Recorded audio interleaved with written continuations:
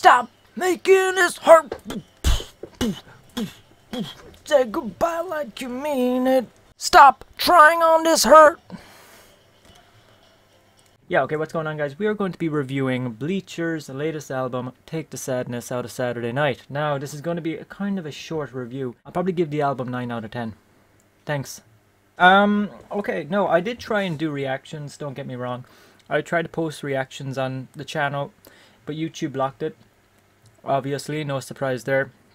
But instead, we're just going to be reviewing the overall album, uh, kind of going, not really song to song, but sort of overall, the general album as a whole, um, rather than kind of pinpointing each song because uh, if I were to talk about this album in depth, we could be talking about a three to four hour video here. Um, so I'm going to just keep it short, keep my points on point, and um, and let that be that.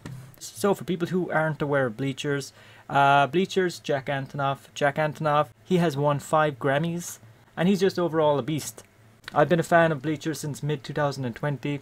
Big fan of the Gone Now album. I also love Strange Desire. My favorite previous songs from uh, Bleachers would be All My Heroes, Roller Coaster, Don't Take the Money, Shadow. Um, I Want to Get Better. I have loads of Bleachers favorites. Uh, but we're not really here to talk about the previous albums, we're here to talk about this one. And um, that's probably why most of you clicked on this video today, to talk about this album. Um, this whole album is so 80s, so retro-esque, uh, inspired by Bruce Springsteen. You will see a lot of similarities.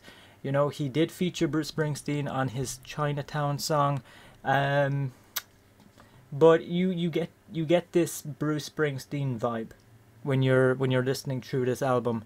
Um, let's say with 91, for example, his songwriting skills with Zadie Smith, you know, it's uh, what's it called? It's sort of vivid imagery. Okay, so what he's talking about, what he's singing about, if you close your eyes, you can really picture what he's singing about. You know, it's so clear. The, the lyrics are so descriptive, and um, that song is just so mixed beautifully alongside the instrumentals. Um, so I found a lot of similarities in the whole album in terms of songwriting and um, music-wise, like instrument-wise. But he did say himself that Bruce Springsteen is a is a huge influencer on him, and um, I find this is Bleacher's most retro-esque album. You know, like 80s style. Even though their previous albums had a hint of 80s retro, but I feel this is the pinnacle of of what they were trying to achieve. And I find that like they've found their niche. They've become comfortable in making music that Jack really knows what he wants to make now. Um, he kind of found his way with, with music and what he wants to sing and write about. Um, even the way he produces and mixes, it's just altogether I find this album extremely well put together. Let's name off a few of our favorite tracks, shall we? So, if I were to pick three tracks just my top tree. Okay, I'm not saying I don't love more than tree. I'm saying I'm going to pick tree just for the sake of this review. Um, I would say How Dare You Want More. I really like Don't Go Dark. And I love 91. Chinatown and Stop Making This Hurt and Big Life would all be very close. Um, like seconds and thirds, you know, after that top three. So like maybe fourth, and fifth, and sixth. Um, even 45 like literally you can't rank this album. That's why i probably shouldn't have even brought that up. Now i've kind of like um, made myself angry because i actually picked three songs. But you know it's you know you have the the two like how dare you want more and stop making this hurt? Instrument wise are very similar. Um, you know you're gonna get people like getting up on their feet dancing around to these two tracks. Chinatown a little less subtle you know in terms of uh, kind of in terms of rhythm and in terms of fast pace, but still, nonetheless, is a beautiful tune. Let's play a bit of it here. Black tears on your cheek. I want them in my bed. I'll take you out of the city. Honey, right into the shadow.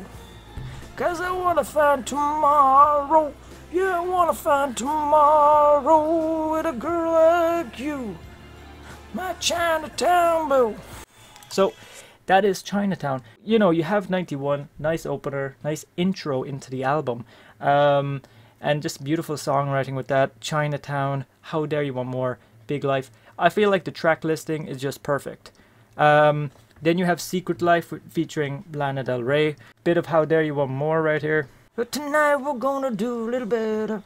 But tonight we're gonna do a little better. But tonight we're gonna drown it out. Um, you have Big Life, Secret Life, Stop Making This Hurt, Don't Go Dark, 45, Strange Behavior, What I Do With All This Space. He ends the album with two kind of slower songs, a lot more personal, I feel, uh, to himself. Um, even 45, 45 is a lot more acoustic. I feel like there's a bit more instrumental in in 45. It's a bit more upbeat in a way. Um, but the the last two I feel are very personal. Um, but you have a lot of bangers here. You know, if these were playing in concert, without a doubt, these will get the crowd going. You know, stop making this hurt, don't go dark.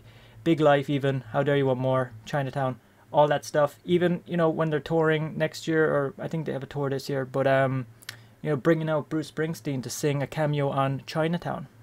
You know, that could happen.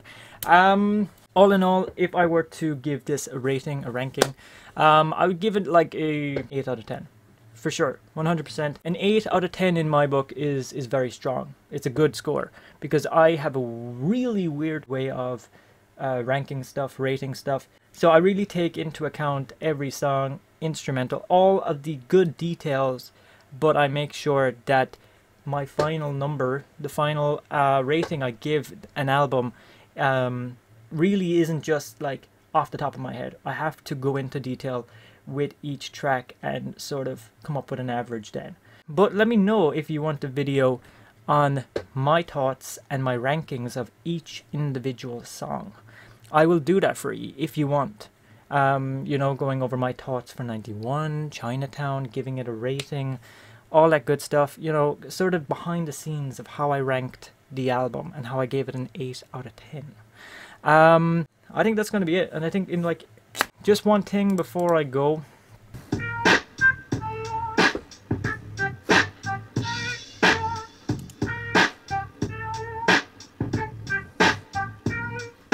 Just before we end the video, before we wrap it all up, we have reached 2 plus K views on our House of Gucci trailer reaction. So I do want to thank everybody who liked, subscribed um, from watching House of Gucci.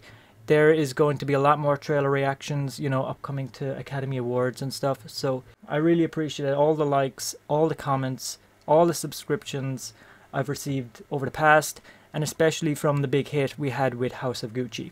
So I just wanted to mention that before, you know, we wrapped up this video. I'm very grateful for everybody who watched that. So, thank you very much. Alright, I've been Blizzards, and we'll catch you in the next one. Peace out. Well, if you take the sadness out of Saturday night, I wonder what will be left with anything with the fight. I wanna run from the darkness, wanna shout in the light. It's coming over me now. Run with the wild and you cry on your shoulder like a little child. Do what you want, just don't go dark on me. Just don't go dark on me.